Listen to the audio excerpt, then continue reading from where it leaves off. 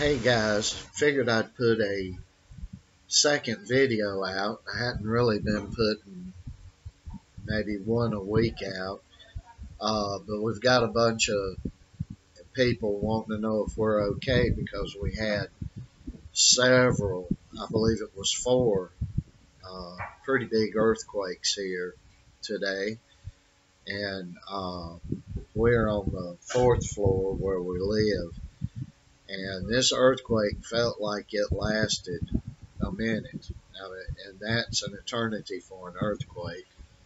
Uh, oh, unimaginable. Uh, that that one that lasted so long, Joe was looking online. I believe he said it was a 6.3 on the Richter scale. And we had a couple of them at five point like four and five point two, and then we had a, a one or two more actually at like four point eight or four point seven on the Richter scale. So hell of a day going through that. Uh, we got a little nervous after the second one, uh, which was, uh, was close to being as big as the first, but well, no, not nowhere near as close, but lasted a little bit. And we went down, and if you guys watch previous videos, you see where we walk back up. There's a, a kind of like a,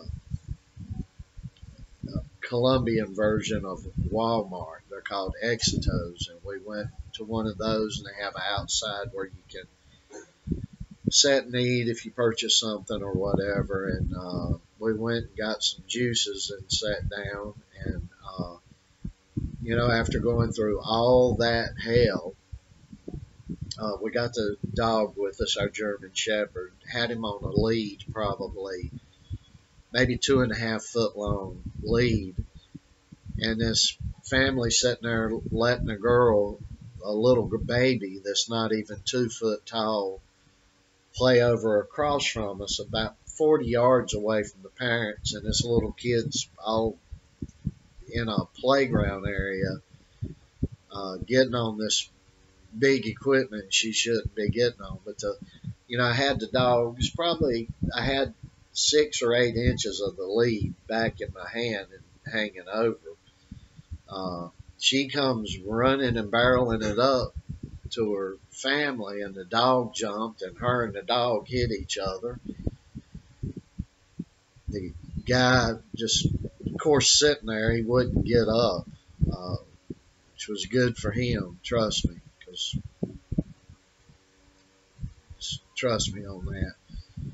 Uh, he was, oh, you, you that dog is a mix between this this kind of dog and this other kind of dog, and they're very dangerous. And Rocky's purebred German Shepherd. I was like, look, dude, you're very ignorant. Your whole family's ignorant. You got you, your wife, who is holding another little baby in her arms, an infant, and then you got grandma sitting there, your mama, and uh, three adults sitting there on their keisters and letting a kid that's not even two foot tall slide down a eight foot slide where if she would have fell off could have broke her neck. Uh, just crazy stuff. And I'm like, you don't let a child that size 50 or 70 yards away from you playing on playground equipment. And I politely told him, you know, it could have been a jogger coming through there and hit hit your little your child. Anyway, it's the stuff you deal with here. Colombia is an excellent place to visit. Uh, I've loved a lot of the past several years that we've lived here. Uh, there's more I've enjoyed than I've hated, but here lately, you know, and especially after COVID, the world's getting different. And I know that's going on in the U.S. too, because Joe and I were uh, in several states in the U.S. back in August and September, and uh, seeing how people were still reacting to cut the virus and all these things. Uh, but it got me to thinking about something. I just watched a show with Lamont on the Run, which is a good channel. He explores graveyards and gives interesting stories and some crime news that's recent and old and things like that. And he had a video, it was called The Last Vampire in the United States. And it was about a girl, uh, forget the name, but consumption was going around. And if you don't know what consumption, uh, cons- what they used to call consumption is TB, tuberculosis.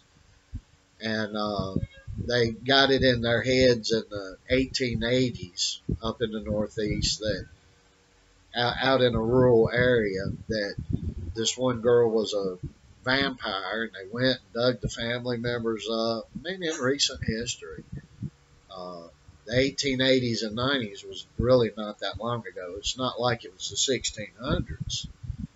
And uh, it got me to thinking about this last virus that we've had and how crazy we all went. Uh, the fear mongering, the uh, things to do with the mask that didn't prevent anybody from getting anything or whatnot, uh, locking ourselves down like we did uh, instead of going through herd immunity.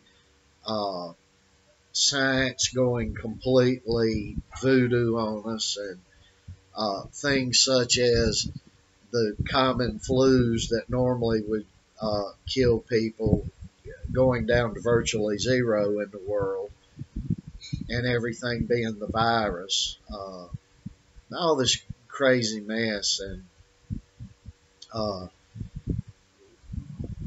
then another thing that happened we somebody took a video and there was this lady on the 15th floor in an apartment building in Bogota. And when the big earthquake hit or maybe it was towards the, the at the second one hitting she had a panic attack and just jumps out the window. Uh, well she goes out and she's trying to just climb down a window uh, with nothing there except a wall and of course when she gets down to the bottom you know, ledge of the window sill, she just falls to her death. And uh, it just goes to remind all the panic, all the craziness going on in this world, uh, that we need the King of Kings, Jesus, uh, more than ever in this world uh, today. And uh, there's no sense in walking around this world being scared to death and freaking out and panicking. And the biggest sad part of it is is the ones that claim Christ are the one or, or a lot of them or some of them I'll say uh, are the first ones to go into panic mode as the guy did on the ship where Christ said calm down and calm the storm in the sea uh, our, we shouldn't go cliff diving and things like that expecting perfect uh, secure beam, but uh, or skydiving, there's risk to things, so we shouldn't throw caution to the wind. Uh, but I, I had a little bit of a panic earlier today. We all got scared. I'll put it to you that way. Really, no panic, but we we all were in in some healthy fear. This was the worst earthquake I've ever been in, but thank God I haven't got large damage reports or anything like that. Uh, but you always run risk that you know an aftershock, so we're still worried. Uh, but we're not panicking, and we know that uh, if we go tonight, uh, we're gone. Uh, we go, and uh, going to heaven's not a not necessarily all that bad of a thing. Everybody seems to be clinging on to the earth, but yet claiming they believe in uh, in a city of gold that they'll be going to with uh, no hurt and no sickness and things like that. and uh, we uh, that's a good thing to start pondering and for people to be thinking in, and especially a lot of you that watch this channel.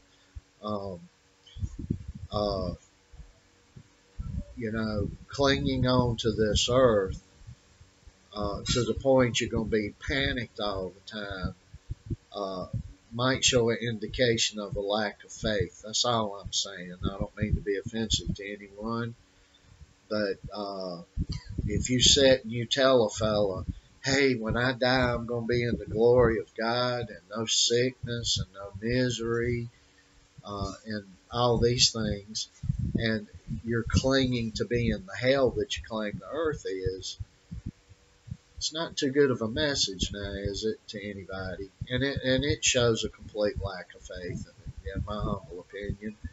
And food for thought, something we should be pondering on. But uh, the world's not getting better. People are getting uh, more angry. People are getting to be the Karens and Darrens that we see uh, on a constant basis. That's happening everywhere. We got our fill of it earlier today after these earthquakes here, and uh, there's no sense in that. No sense in that. You you've got to walk in this earth not like that family did.